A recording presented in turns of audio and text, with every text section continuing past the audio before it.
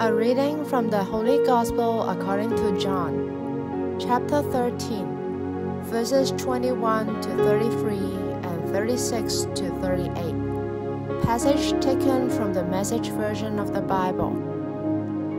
After he said these things, Jesus became visibly upset, and then he told them why.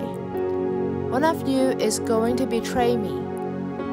The disciples looked around at one another, wondering who on earth he was talking about. One of the disciples, the one Jesus loved dearly, was reclining against him, his head on his shoulder. Peter motioned to him to ask who Jesus might be talking about. So, being the closest, he said, Master, who? Jesus said, The one to whom I give this crust of bread after I've dipped it. Then he dipped the crust and gave it to Judas, son of Simon the Iscariot. As soon as the bread was in his hand, Satan entered him. What you must do, said Jesus, do. Do it and get it over with. No one around the supper table knew why he said this to him.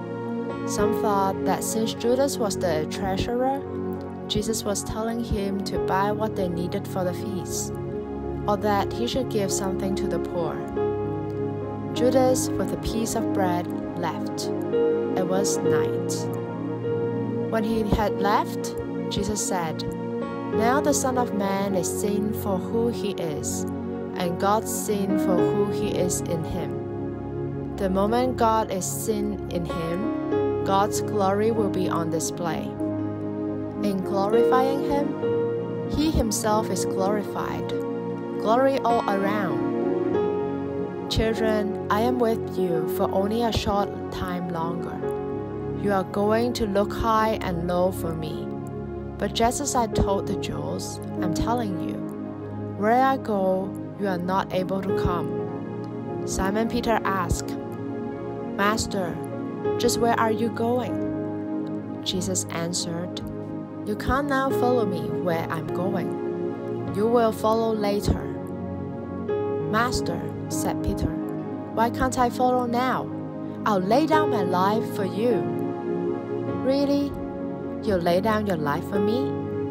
The truth is that before the rooster crows, you'll deny me three times. The Gospel of the Lord.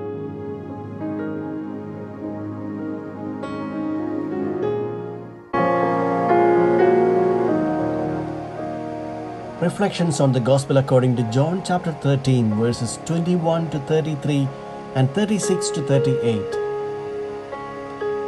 The first thing I hear in today's Gospel is that voice that is sometimes heard so much among children I didn't do it. The disciples of Jesus react like children to the statement of the Master One of you is going to hand me over. They all wanted to look good, to look like good children who had not broken a plate in their life. But reality is not always how we like it to be. Who has not broken a plate or many plates in his life? Who can say that he is pure and good, and that all his works are upright, and that he has never acted out of selfishness, and that his intentions are always good? Look at the behavior of the disciples in the Gospels. Had they always been faithful? Were their reasons for following Jesus clear?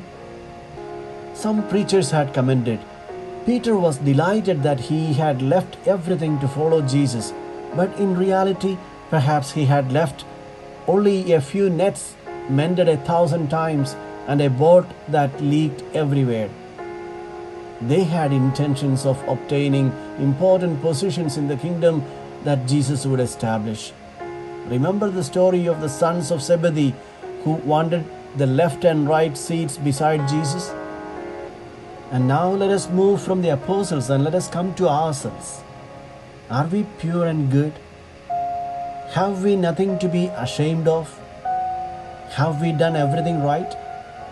And although we have done good things, Has there not been some spurious intention in our hearts that has stained the good work that we have done?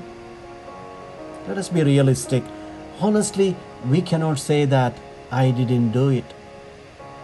In the end, what is the difference between the greatest traitor and us? The difference may be in quantity but not in quality. It would help us to be better to begin by acknowledging our own limitations and miseries. We are no different from those whom we regard as bad. We are all in need of mercy, forgiveness, and understanding. Judas is no worse than us, and by blaming him, we don't make ourselves any different from others. There are two betrayers in today's reading Judas, and the other is Peter. He was too proud of his credentials. I would never betray you. Sometimes we behave like these disciples. We are so sure of our righteousness. I have come across voices which said, I wouldn't allow this person to serve in the church for he has a bad reputation. Really? What makes you worthier or more meritorious than the other person to serve God and His church? Our only credential shall be our reliance on God's mercy